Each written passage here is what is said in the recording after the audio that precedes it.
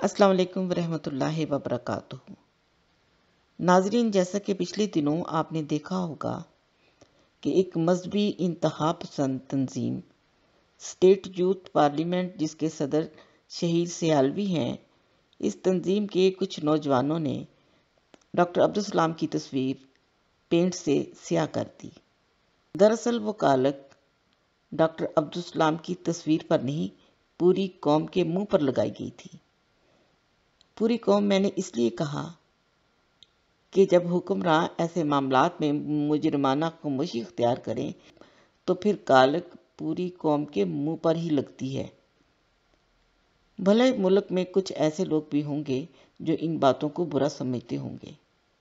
बहरहाल नाजरीन, आज एक और ख़बर देखने को मिली कि कुछ नौजवान लड़कों ने डॉक्टर अब्दुल साहब की उसी तस्वीर की जगह पर मौलाना नौरानी की तस्वीर लगा दी। देखकर मुझे इन बेचारों के ऊपर बहुत तरस भी आया।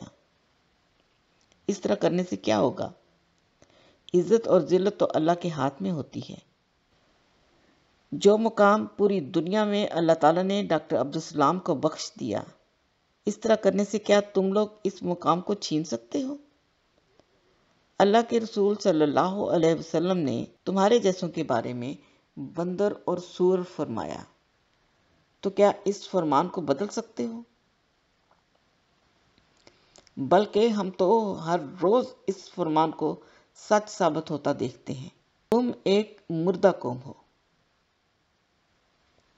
और मुर्दा चीज़ों के लड़ने के सिवा कुछ नहीं कर सकते।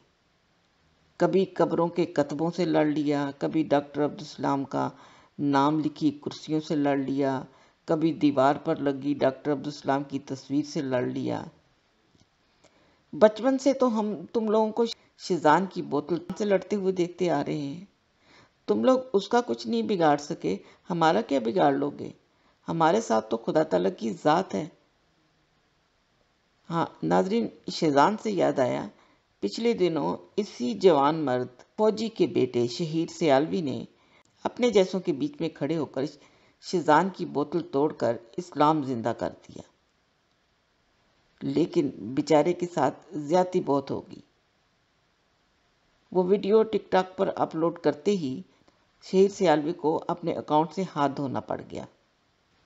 बहरहाल, तुम लोग चाहते हो कि जो मुकाम डॉक्टर अब्दुल को मिला, वो डॉक्टर अब्दुल कदीर चोर को भी मिले। और वो होना नहीं।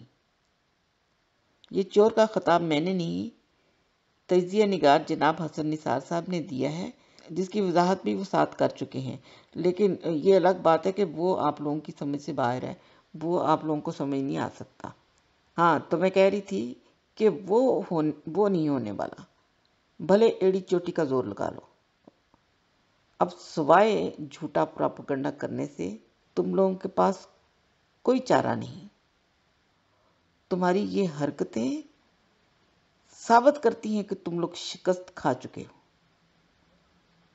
अब बैठ कर दीवारों को टकरे मारो।